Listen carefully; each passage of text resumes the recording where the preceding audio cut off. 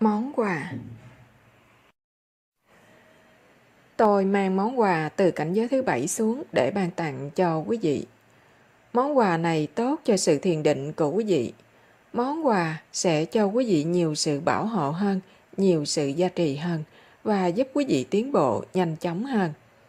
Cho dù quý vị có đi xuống địa ngục vì lý do nào đó, quý vị cứ nhớ đến món quà, rồi quý vị sẽ được giải thoát ngay lập tức và ma quỷ sẽ quỳ trước mặt quý vị để tạ lỗi. Và toàn bộ địa ngục nơi quý vị đến cũng sẽ được tự do cùng với quý vị. Quý vị phải ở một đẳng cấp nhất định nào đó để có được món quà này. Quý vị không được nói cho người khác biết. Nếu không, thì món quà thậm chí còn làm cho họ bị tổn thương. Thanh kiếm nhật không thể ở trong tay trẻ nhỏ, cho nên quý vị giữ món quà cho bản thân mình thôi nhé. Quý vị hãy luôn luôn và lúc nào cũng mặc niệm món quà cùng với hồng danh nhé. Quý vị cứ niệm món quà giống như niệm hồng danh và giữ cho riêng mình, đừng viết ra hoặc nói với người khác.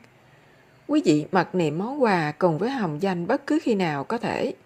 Đừng thay thế hồng danh với món quà nhé. Như là không niệm hồng danh mà chỉ niệm món quà này vì món quà có lực lượng hơn. Như vậy sẽ không có hiệu nghiệm. Bởi vì quý vị ở trong năm cảnh giới, quý vị vẫn cần sự giúp đỡ và gia trì của năm vị giáo chủ thiên liêng. Tổng thống Mỹ có thể có nhiều quyền lực hơn tổng thống của quý vị, nhưng tổng thống của quý vị ở trong quốc gia của quý vị, quý vị tốt hơn là nên tôn trọng tổng thống và toàn bộ chính phủ dưới quyền vị tổng thống của mình. Nếu quý vị quên cách niệm món quà hoặc muốn phát âm cho chắc thì quý vị hỏi những người đã biết về món quà này rồi. Quý vị nên tập niệm món quà hàng ngày để ngay cả khi không tỉnh táo, hạ ý thức của quý vị vẫn lặp lại món quà. Như một số người có lẽ không thích tôi hay không tin tôi, họ tỏ tâm ấn nhưng vẫn không thích tôi hay không tin tôi hoặc phê phán tôi theo cách nào đó. Và rồi lúc vạn sinh họ quên tôi hay họ không tu hành tốt thậm chí họ quên hồng danh. Hoặc nếu họ đi xuống địa ngục sâu mà thậm chí hồng danh cũng không giúp gì được, thì món quà này sẽ giúp họ. Cho dù quý vị từ chối tôi giúp đỡ hay quý vị không tin tưởng tôi, quý vị phải nhớ đến món quà này để cứu linh hồn quý vị. Tôi biết quý vị thương yêu tôi và tin tưởng tôi. Tôi nói điều này chỉ phòng hờ mà thôi. Bây giờ quý vị là vô địch rồi. Nếu quý vị tin vào vị minh sư thì có đến năm vị giáo chủ thiên đàng bảo hộ quý vị. Rồi quý vị còn có món quà nữa. Chào ơi, bây giờ quý vị là ai vậy? Tôi không biết nữa. Thậm chí không ma quỷ nào dám nhìn quý vị mà không tôn kính. Quý vị rất có lực lượng và rất quyền năng. Không ma quỷ nào dám đụng đến sợi tóc của quý vị. Họ phải quỳ trước mặt quý vị. Quý vị rất có lực lượng mặt trời, mặt trăng, tinh tú, địa cầu, cây cối, nước, vân vân đều gia trì cho quý vị. Loại người nào chỉ tắm nắng mà lúc nào cũng đi lên đẳng cấp thứ năm vậy? Không chỉ có vậy mà quý vị còn ngái ngủ trong phòng khách mà vẫn đi lên cảnh giới thứ năm. Tôi chưa bao giờ nghe thấy điều này trong tất cả lịch sử nhân loại. Không sát sanh, bao gồm việc không giết hại động vật. Động vật cũng có linh hồn, cũng tham sống sợ chết. Nếu không tham sanh úy tử, đương nhiên sẽ không sao. Rau cải hay cỏ cây không có nhiều ý thức về sự sống chết, đá cũng vậy, không tham sống sợ chết, cho nên chúng ta ăn rau cải ít nghiệp chướng hơn. Nếu mỗi ngày chúng ta dành 2 tiếng rưỡi để tu pháp môn quán âm, nghiệp chướng này xem như không có vậy nhưng các loài động vật đã có hạ ý thức sợ chết cũng như con người cho nên chúng ta giết chúng sẽ có chuyện. Còn trường hợp của con người thì sao? Khi chúng ta chết một cách tự nhiên, không bị ai cưỡng bách, cũng không bị ai giết hại, mà sao chúng ta cũng thấy đau khổ như vậy? Bởi vì chúng ta chưa chuẩn bị, cửa của chúng ta chưa mở. Thí dụ một cánh cửa bị đóng kín lâu quá, chưa hề được mở, đương nhiên sẽ bị hư. Dù chúng ta muốn mở ra cũng không mở được. Khi có hỏa hoạn, chúng ta sốt ruột lắm, muốn mở cửa nhưng không được, chỉ còn cách tung cửa mà ra. Nhưng làm vậy chúng ta sẽ bị phỏng, sẽ đau khổ. Nếu mỗi ngày đều mở cửa, cửa đã trơn, chỉ cần chúng ta đụng vào là mở được liền. Cũng giống vậy, thân thể của chúng ta có rất nhiều cửa, nhưng không phải cánh cửa nào cũng tốt. Thí dụ chúng ta ở lầu 3, đương nhiên không thể nhảy qua cửa sổ, như vậy sẽ bị thương. Chúng ta phải dùng cầu thang để đi xuống. Nhưng vì không biết có cầu thang, hoặc trong lúc khẩn cấp không biết cầu thang ở đâu, nên chạy đi chạy lại trong lửa, rốt cuộc bị phỏng. Cùng một ý, chúng ta cần phải luyện tập ngay từ lúc chiến tranh còn chưa bộc phát. Nước nhà hay chánh quyền của chúng ta cũng cho chúng ta thực tập trước, như là có chiến tranh vậy. Lúc tôi còn ở Âu Lạc, chính phủ cũng thiết lập hệ thống báo động, một tuần hay là một tháng thực tập một lần.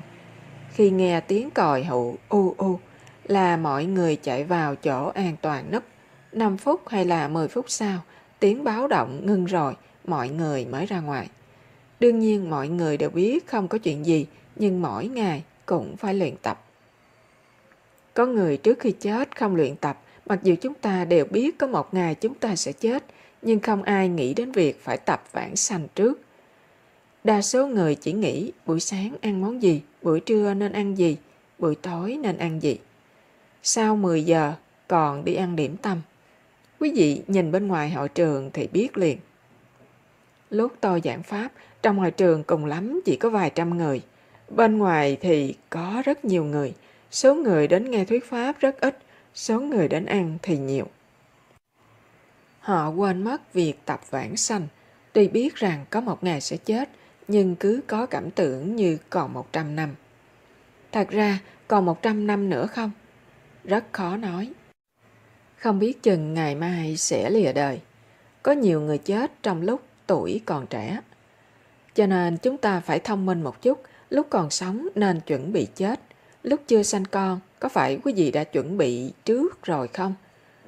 Quý vị may một mớ quần áo trước, mua y phục đẹp, dù chẳng biết sẽ sanh con trai hay con gái, đã để sẵn một bên, đợi đứa bé ra chào đợi. Lúc chưa sanh đã chuẩn bị kỹ lưỡng như thế, sao không biết chuẩn bị cho lúc chết? Giờ khắc này mới là tối quan trọng. Lúc chào đời có nhiều người đến thăm chúng ta, an ủi chúng ta, lo cho chúng ta. Nhưng khi chết không có ai đến với chúng ta, đó là lúc cô đơn nhất, đau khổ nhất. Sao lúc còn sống không chuẩn bị trước? Như vậy có phải là thiếu thông minh không? Sở dĩ chúng ta đau khổ là vì như vậy, vì không chuẩn bị trước. Nếu muốn chuẩn bị thì phải tìm một người đến giúp chúng ta mở cửa, mở rồi đóng, đóng rồi lại mở. Đóng mở như vậy cánh cửa mới trơn, đến khi muốn mở sẽ mở rất mau, việc đi ra sẽ không gặp khó khăn. Chúng ta có rất nhiều cửa, nhưng không phải cửa nào cũng là cửa ra ngoài. Thí dụ cửa sổ này có chỗ trống, nhưng nếu đi ra ngõ đó sẽ bị đụng đầu. Muốn ra nên đi bằng cửa lớn, nhưng nếu cửa lớn không có mở cũng không thể ra được. Trên thân thể của chúng ta, mắt, tai, mũi, vân vân đều là cửa. Thân của chúng ta có chín lỗ đều là cửa, nhưng nếu đi ra từ những cửa đó, chúng ta sẽ bị sanh tử luân hồi, đầu thai vào cảnh giới không cao. Nhưng có một cánh cửa mà nếu chúng ta đi ra ngõ đó, có thể đến cảnh giới rất cao. Cửa đó mắt thịt không thấy được, dùng chìa khóa thường không thể mở, chỉ người tu hành mới có thể mở được. Nếu chúng ta còn chưa có thể tự mình mở được, thì nên đến hỏi một người tu hành tốt, bởi vì chính họ đã mở được cửa đó rồi. Họ biết cách mở, họ sẽ chỉ dạy mình cách mở cửa này rất dễ. Quý vị càng thiền thì càng biết nhiều. Lúc trước, có lần tôi nghĩ mình đã cho thế giới tất cả những gì mình đạt được. Lúc đó rất khó đạt được bởi vì một đằng là tôi đạt được, một đằng là tôi phải cho đi điểm công đức tâm linh và nhận thêm người đến thọ tâm ấn. Do đó tài khoản điểm công đức tâm linh của tôi gần như trống rỗng. Rồi tôi nghĩ, Thế là xong. Bây giờ mình đã cho hết rồi, chỉ còn nước chết và đi địa ngục thôi. Lúc đó tôi đã sẵn sàng đi địa ngục, vì tôi nghĩ mình xong đời rồi. Tôi nhận lãnh nghiệp chướng của chúng sinh chất đầy, nặng trĩu, không còn phước báo, nhơ bẩn, cùng cực và không còn gì hết. Lúc đó tôi nghĩ mình sắp chết rồi và chỉ đợi đi địa ngục thôi. Nhưng không, bỗng nhiên thiên đàng cho tôi sống lại. Từ đó tôi tiếp tục tọa thiền, rồi ngày càng phát hiện ra những cách tốt hơn để nhanh chóng lên các đẳng cấp tốt hơn. Khi sẵn lòng xả thân, thì thiên đàng sẽ cho chúng ta tất cả và còn nhiều hơn nữa. Thật kỳ diệu. Tôi rất vui là tôi vẫn còn đây để tiếp tục hành trình của mình. Điều đó rất quan trọng. Tôi vui lắm. Vâng, thưa sư phụ, khi tọa thiền con không thể tập trung tư tưởng ở đây. Đầu óc cứ suy nghĩ lung tung với đủ thứ tạp niệm. Làm thế nào con có thể tập trung và thiền tốt hơn?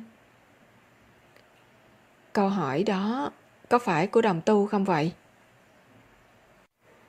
Bởi tôi sẽ có câu trả lời khác nhau cho từng người một. Dạ, là đồng tu. Đó là lý do chúng ta phải đi cộng tu, vì cộng lực sẽ giúp chúng ta và chúng ta cần phải kiên nhẫn. Có người tập trung được ngay, nhưng có người lại cần thời gian lâu hơn. Tôi đã đề cập điều này trong buổi thuyết giảng trước đây. Ngoài ra, hãy tha thứ cho chính mình. Hoàn cảnh của thế giới này khiến chúng ta khó có thể tĩnh tâm thiền định và trầm tĩnh suy tư, nhưng chúng ta hãy tiếp tục cố gắng. Ở thế giới này, chúng ta có lợi điểm. Đó là vì việc tu hành ở đây rất khó khăn, nên Thượng Đế gia trì cho chúng ta gấp bội. Chúng ta đi một bước, thì lực lượng của Minh Sư sẽ đi cả trăm bước để hỗ trợ chúng ta. Tu hành trên thiên đàng không được như vậy. Ở đó, nếu quý vị muốn tu hành thì cần thời gian lâu hơn. Ví dụ, chúng ta ở đây một ngày bằng tu cả trăm ngày nơi thiên đàng. Do đó, có nhiều thánh thần hoặc thiên nhân ở cảnh giới cao muốn đầu thai vào thân người để được tu hành nhanh hơn.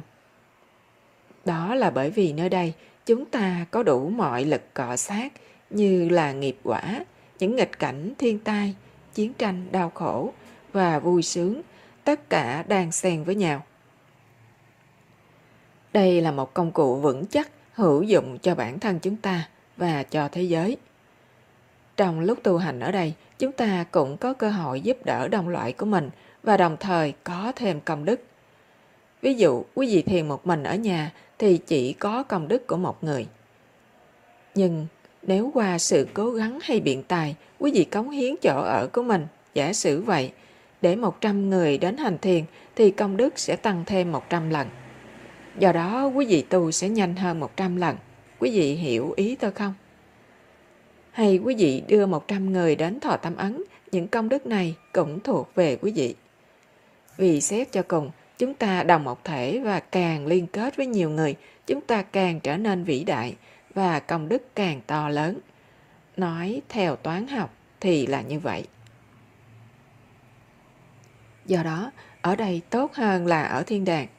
Trên thiên đàng mọi người đều hạnh phúc nên họ cứ từ từ. Họ không có động lực đằng sau để thúc đẩy họ tập trung. Vì vậy tôi thường nói, mỗi khi quý vị đau buồn hay tuyệt vọng, quý vị cầu nguyện dễ hơn, có khi tọa thiền lại tốt hơn. Lúc đó quý vị nhớ đến vị minh sư nhiều hơn và nói rằng, Sư phụ ơi, xin giúp con, giúp con, giúp con. Và ngày hôm đó quý vị có nhiều thể nghiệm tốt hơn, ánh sáng rực rỡ hơn, âm thanh rõ ràng hơn, hoặc cảm thấy phấn chấn hơn, gần gũi với Thượng Đế hơn. Cho nên, tuy tu hành ở thế giới này có khó khăn, nhưng cũng rất tốt. Tôi vui mừng là nhiều đồng tu chúng ta tu hành rất tinh tấn. Có người đến trung tâm chỉ để nhìn chung quanh, nhưng sau đó họ không thể nhìn quanh mãi, vì ai nấy cũng đều nhắm mắt. Không bao lâu, họ cảm thấy hổ thẹn nên cũng nhắm mắt và thấy được điều gì đó bên trong thay vì ngắm nhìn các cô gái đẹp bên ngoài. Vì thế, có một ngôi chùa hoặc một trung tâm cũng rất hữu ích để mọi người có thể tụ họp cùng nhau, tập trung ý lực và nhất tâm nghĩ về Thượng Đế. Điều này giúp ích rất nhiều. Cho nên quý vị hãy từ từ. Quý vị có thể nhìn chung quanh một lúc khi cảm thấy chán, quý vị có thể nhắm mắt lại và cùng thiền với mọi người. Được không? Điều khiển đầu óc bao giờ cũng khó khăn, vì vậy chúng ta phải tu hành mỗi ngày. Bằng không, tôi sẽ bảo quý vị, hãy thọ tâm ấn rồi quý vị là Phật. Không còn việc gì khác để làm, phải không? Đó là vì thói quen lâu đời của mình. Biết bao nhiêu ngàn năm nay, có thể là lâu hơn nữa. Cho nên, dùng một kiếp người để rửa sạch tất cả những thói quen này là một việc làm rất khó, nhưng cũng rất đáng. Quý vị có muốn ở đây thêm một ngàn năm nữa để tiếp tục công việc đó không? Có lẽ sẽ vui lắm. Cho nên, tôi bảo quý vị phải thiền lâu hơn, 2 tiếng rưỡi hay 3 tiếng đồng hồ, vì 20 phút đầu vẫn còn tranh chấp. Cứ tiếp tục như vậy, rồi sau 20 phút, mọi chuyện sẽ từ từ lắng dịu. Nửa tiếng đồng hồ sau, quý vị sẽ bắt đầu cảm thấy sảng khoái. Và sau 40 phút, quý vị sẽ biến mất. Trích đoạn lời của Master Thanh Hải Vô Thượng Sư trong các bài giảng và các buổi trình chiếu trên truyền hình Vô Thượng Sư